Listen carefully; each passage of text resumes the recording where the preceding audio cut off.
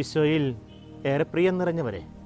തിരുസഭ മാതാവ് ഇന്നത്തെ വചന വിചിന്തനത്തിനായിട്ട് നമുക്ക് നൽകിയിരിക്കുന്ന ഭാഗം ലൂക്കായുടെ സുവിശേഷം പതിമൂന്നാം അധ്യായം ആറ് മുതൽ ഒൻപത് വരെയുള്ള തിരുവചന ഭാഗങ്ങളാണ്. ഫലം തരാത്ത അത്തിവൃക്ഷത്തെക്കുറിച്ചാണ് പറയുന്നത്. ഫലം തരാത്ത അത്തിവൃക്ഷം അത് വെട്ടിക്കളയാനായിട്ട് യജമാനൻ ആവശ്യപ്പെടുന്നുണ്ട്. എന്നാൽ ഒരു വർഷം കൂടെ സാവകാശം കൃഷിക്കാരൻ ചോദിച്ചു വയ്ക്കുന്നുണ്ട് ഒരു വർഷത്തിനുള്ളിൽ ഫലം തരാനുള്ള സാധ്യതയുണ്ട് എന്ന് കൃഷിക്കാരൻ ഓർമ്മപ്പെടുത്തുകയാണ്.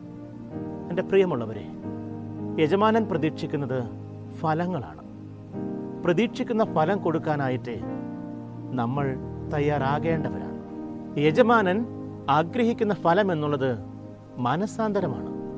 മനസാന്തരപ്പെടുക കർത്താവ് ആഗ്രഹിക്കുന്ന വിധത്തിലെ ജീവിതത്തെ ക്രമപ്പെടുത്താനായിട്ട് നമ്മൾ പരിശ്രമിക്കണമെന്ന് ചുരുക്കം. ഫലം തരാത്ത അത്തിവൃക്ഷം ഫലം നൽകുക എന്ന് പറഞ്ഞാൽ അത് പ്രകടമായി മറ്റുള്ളവരുടെ മുൻപിൽ ഫലങ്ങൾ ചൂടി നിൽക്കുന്ന വൃക്ഷമായിട്ട് മാറ്റപ്പെടുക എന്നർത്ഥമാണ്. എന്റെ പ്രിയമുള്ളവരെ ഓരോ ക്രൈസ്തവന്റെ ജീവിതത്തിലെ ക്രിസ്തുവിനെ സാക്ഷ്യപ്പെടുത്തുന്ന പ്രകടമായ ജീവിതശൈലി രൂപപ്പെടുത്തണമെന്ന് ഇന്നത്തെ സുവിശേഷ ഭാഗം നമ്മെ ഓർമ്മപ്പെടുത്തുന്നുണ്ട്.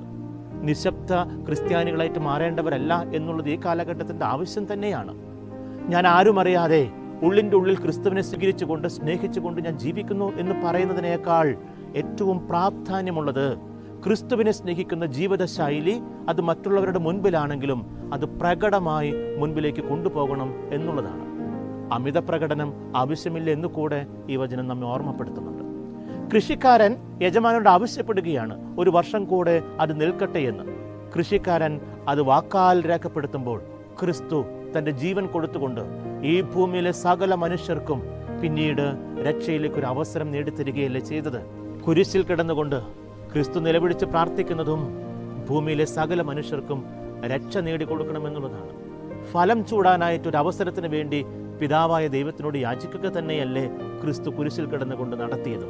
അതുകൊണ്ട് എന്റെ പ്രിയമുള്ളവരെ ക്രിസ്തു ആഗ്രഹിക്കുന്ന വിധത്തിലെ നമ്മുടെ ജീവിതത്തെ നമുക്ക് ക്രമപ്പെടുത്തേണ്ടതുണ്ട്. ചിന്തിക്കേണ്ടത് ഇപ്രകാരം കൂടിയുണ്ട് എന്ന് ഓർമ്മപ്പെടുത്തുന്നുണ്ട്. ഞാൻ ഈ ഭൂമിയിൽ ദൈവം നൽകിയ അവസരം പാഴാക്കി കളയുകയാണോ എന്ന്. ദൈവത്തെ മഹത്വപ്പെടുത്തി ജീവിക്കേണ്ടതിന് പകരം ഈ ഭൂമിയിലെ നിലം പാഴാക്കുന്ന ഫലം തരാത്ത ഒരു അത്യവൃക്ഷം പോലെ തന്നെയാണോ എന്റെ ജീവിതം എന്നുള്ളത് നമുക്കൊന്ന് വിലയിരുത്തി നോക്കേണ്ടത് തന്നെയാണ്. ഫലം നൽകുക എന്നാൽ മാനസാന്തരപ്പെടുക എന്ന ആശയം എന്ന ജീവിതശൈലി അത് കൃത്യതയോടെ ജീവിതത്തിൽ പാലിക്കേണ്ടത് തന്നെയാണ്.